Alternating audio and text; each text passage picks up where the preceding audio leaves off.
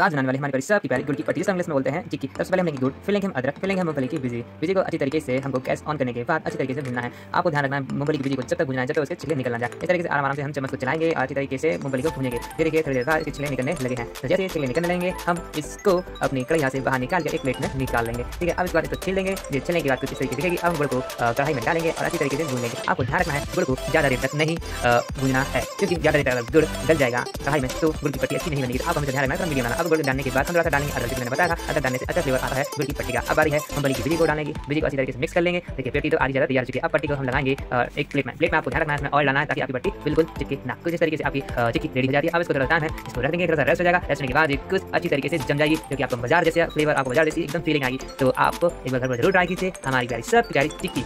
और वीडियो पसंद आए तो हमारे वीडियो को लाइक करो शेयर करो और सब्सक्राइब करना बिल्कुल ना मिलते हैं नेक्स्ट वीडियो में। अभी के लिए बाय